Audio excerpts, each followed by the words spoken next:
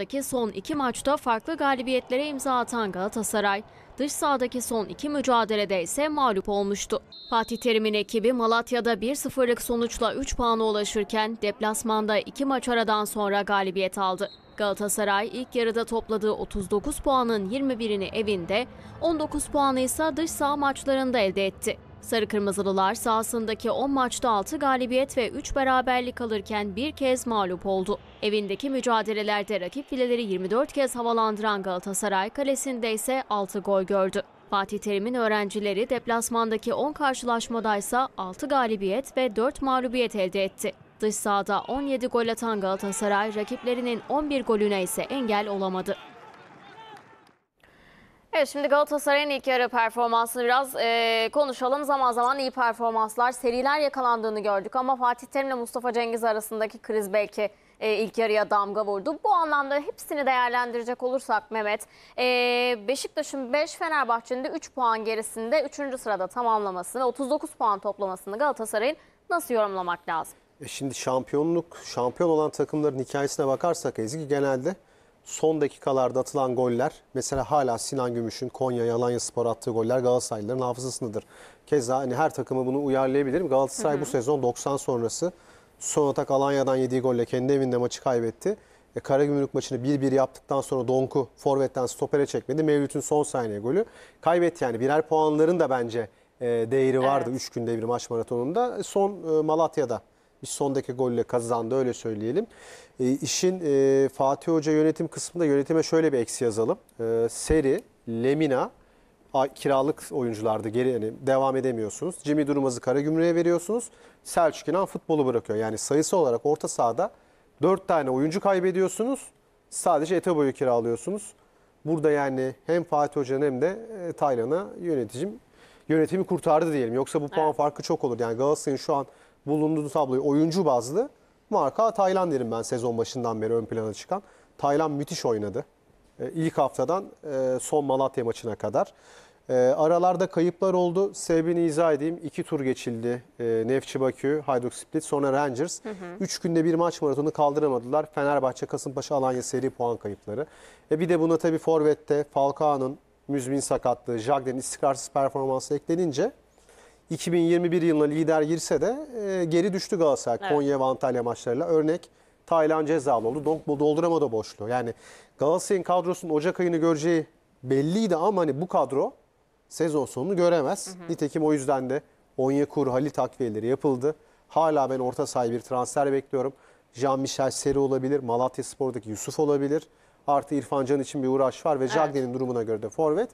E, kaybedilmiş bir şey yok onu Onu tabii söyleyebilirim. detaylandıracağız transferi daha fazla ama biz haberimizi aslında yazarken e, Galatasaray e, ilk yarıyı mutlu kapattı diye e, verdik bu haberi. Mehmet Emin Uluç sana göre gerçekten e, mutlu mu kapattı? Bu bulunan bulunduğu tabloyu nasıl sen yorumluyorsun? Bir kere Mehmet'in anlatımından devam edelim. Ee, Beşiktaş'ta Josef'le Atiba oynuyor. Dorukan alternatif var. Öbür tarafta Gustavo Ozan Sosalı bir orta saha var. Bu tarafa bakıyorsun. Taylan, Sadece Taylan. Ben Donk alternatif kabul etmiyorum. hayır hayır. Taylan diyorum. O kadar. Sonra boşluk, boşluk, boşluk. Ha, orada kullanabileceğin kim var? Etobo var, kullanamıyorsun. Donk, Donk var, var. kullanamıyorsun. Ömer Bayram olmuyor falan filan. Bu Soru işaretleri var. Öbüründe oynayabilen adamların var senin. Ve Sosa'nın performansını eleştiriyoruz biz. Ama var yani orada bir Kapasitesi şey var en azından. Var. Dolayısıyla e, burada yönetimi eleştirirken hem Taylan'ı övüyoruz hem de Fatih Hoca şunu yaptı. Yani normalde biz Galatasaray'dan alıştığımız şey neydi? 4-2-3-1 oynuyordu takım normal şartlarda. Fatih Hoca bazı teknik adamlar bunu yapıyor. Elinde malzeme olmasa bile ısrar ediyor.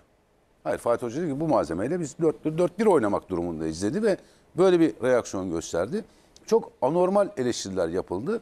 E buna rağmen bakıyorsun puan durumunda Galatasaray kötü bir yerde değil. Evet. Ha sorsan Fatih Hoca'ya hocam bunun üstünde olmak ister miydin? İşte lider olmak ister miydin? İkinci olmak ister miydin? Daha çok puan. Tabii ki isterdi. Herkes ister. Ya 20 çarpı 2 Mehmet bence orada psikolojik sınır 40 puan üzerine çıkman gerek bence. O yani e, zaten 3 hafta önce de oyuncuların kendi aralarında yap- yaptıkları sohbette 40 puanla ligi bitirmeliyiz diyorlardı. Vodafone'daki Beşiktaş maçına 1 puan yazılıyordu. O yenilgi zaten şu an 40 değil 39. Ee, burada şaşırtıcı istedik şu Ezgi. Çok kaleci performansı ön plana çıkmadı ama Evet. E, ligin en az gol yiyen takımı 17 golle ve hani Fatih'te, Okan'da, Muslera'nın da gol yemediği maçlar var. Kaleci bazlı ama Mustera farkında ben iki maçtır tribünde olduğum Gör- için evet. çok net görüyorum o geri e, toplu oynamalar olsun, Mustera'nın kaledeki duruşu olsun.